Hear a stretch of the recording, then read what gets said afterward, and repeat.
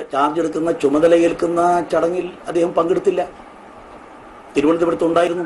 കുഞ്ഞാലിക്കുട്ടി വന്നതിന് ശേഷമാണ് പിന്നീടാണ് Oommen Chandy K P C C ഓഫീസിലേക്ക് വന്ന് എനിക്ക് വരാൻ പറ്റിയില്ല എന്നൊക്കെ പറയുന്നത് അദ്ദേഹം മനഃപൂർവം വരാതിരുന്നു എന്നുള്ളത് എല്ലാവർക്കും കേരള കോൺഗ്രസിന് രാജ്യസഭാ സീറ്റ് അധാർമികമായി നൽകുക വഴി.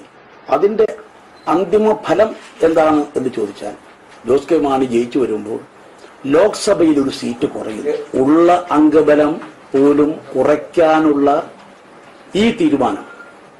It is a Himalayan blunder